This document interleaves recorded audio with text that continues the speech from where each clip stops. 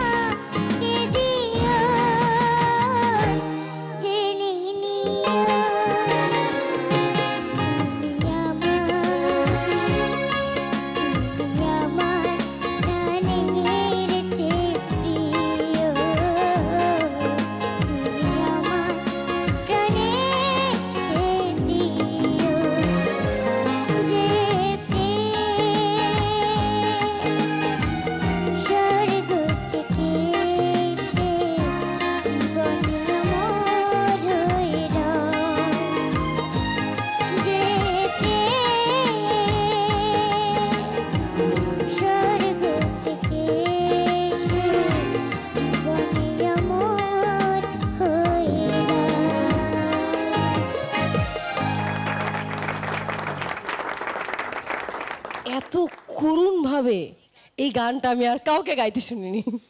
মুখের এক্সপ্রেশন এমন করুণ ছিল। কেমন লাগল ওর গান পেদোসারা আমি মোটেও বলব না। আমার মন খারাপ। মন খারাপ? টুটুল তুমি বলো।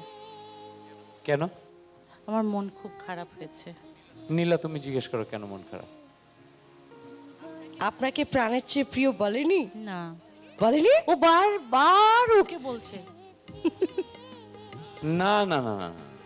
আমি তো দেখলাম সব তোমাকে আমিও তো মনে করছি যে একবার কেন নীলা কি টেরা না তো? ও তো তো শুধু তোমার দিকে তাকাচ্ছিল। না ওর হাতটা ছোট তো এদিক হতে তো এরকম হয়ে যায়। না নীলা আচ্ছা, নীলাই বলো। বলো। দুজনের দিকেই দূর দুজনের দিকই ধরেছো?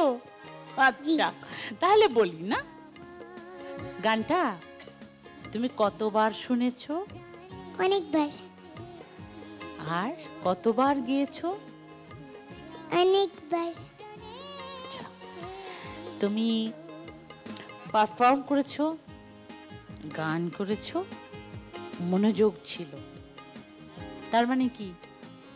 তাহলে তো তোমাকে দুধ ভাত আর বলা উচিত না। কি বলো টুটুল?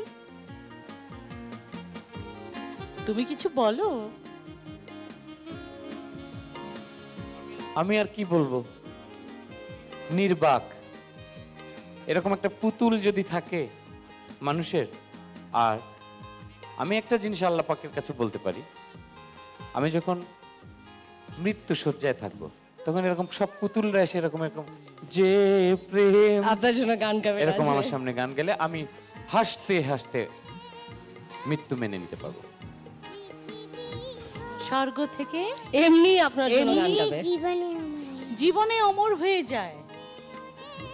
কত কঠিন কথা অর্থই হয়তো। লাইনগুলো কীভাবে মনে রাখে এটা একটা আসলে ভালো।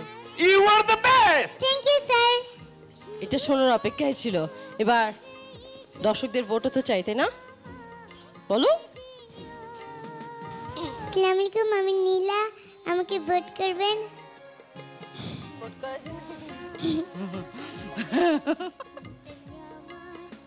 দর্শক আপনাদের যদি নীলার গান ভালো লেগে থাকে তাহলে নীলাকে অনেক অনেক এস এম এস করুন। আর এস এম এস করার জন্য আপনাদেরকে টাইপ করতে হবে এন আই এল এ লিখে পাঠিয়ে দিন আপনাদের যত খুশি তত vote six one six one নম্বরে মনে রাখতে হবে নীলাকে ভোট পাঠানোর শেষ সময় আগামী দশই অক্টোবর দুপুর বারোটা পর্যন্ত। Thank you Nila.